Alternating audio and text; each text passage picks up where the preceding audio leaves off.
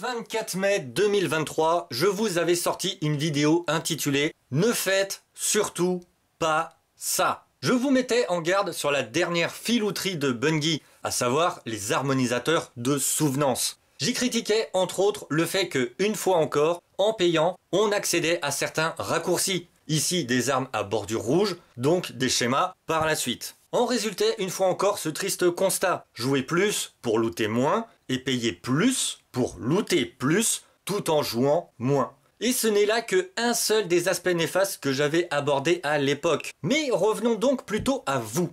Vous avez été 13% à juger que ma vidéo était mauvaise. Une fois de plus, tu te plains, moi j'ai rushé tous mes harmonisateurs, moi je me suis craft ma SMG Icelos, tu ne sais pas ce que tu dis.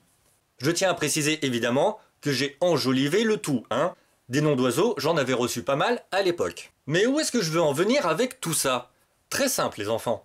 À la sortie de la saison 22, nous aurons le retour de certaines quêtes exotiques. Exemple, l'obtention du récit d'un homme mort via la quête exo, présage, pour ne citer que celle-ci. Petite parenthèse, toutes les armes exo seront façonnables à la forge sur Mars et verront donc tout un nouveau panel d'attributs qu'il sera possible de leur allouer. Fin de la petite parenthèse. Mais l'information, les informations qu'il fallait surtout retenir ici, c'est la possibilité de pouvoir tomber et retomber des armes d'anciennes saisons avec des bordures rouges. Ces drops pourront être d'ailleurs plus ou moins ciblés selon vos envies et selon les niveaux de ou des activités ainsi que par rapport à vos loots précédents. Je reviens sur l'exemple des armes Icelos, parce que je sais que vous avez été très nombreuses et nombreux à vous ruer dessus. Ici, je ne vous blâmerai pas vous les enfants, mais plutôt Bungie, et aussi un petit peu d'autres influenceurs et influenceuses qui vous ont mal orienté. Mais j'ai mes torts moi aussi. Par exemple, j'aurais pu vous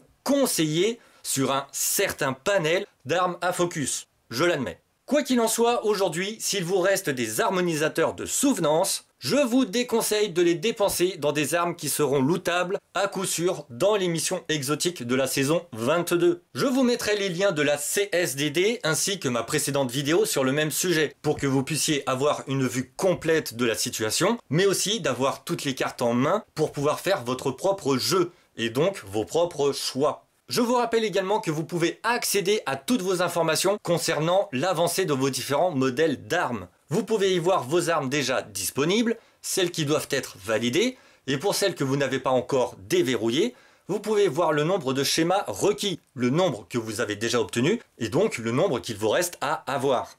Je terminerai cette vidéo avec un dernier point. En plus d'être des missions de type hebdomadaire, la liste que vous trouverez actuellement n'est pas à 100% factuelle, puisqu'il est précisé dans la CSDD que des ajouts futurs seront bien présents. Ce qui veut dire que si vous aviez en tête une arme précise, mais qu'elle ne figure pas dans la liste actuelle, peut-être, je dis bien peut-être, qu'elle sera ajoutée plus tard, dans une prochaine saison, qui sait? Il ne me reste plus qu'à vous souhaiter bon tri dans votre coffre, de bien noter quelles armes tomberont en bordure rouge la saison prochaine, de faire un point sur le nombre d'harmonisateurs qu'il vous reste pour finalement choisir, déduire quelles armes vous allez passer en bordure rouge. Je vous laisse avec un dernier montage pour clôturer le tout. Et moi, je vous dis à la prochaine pour une nouvelle aventure sur Dest 2.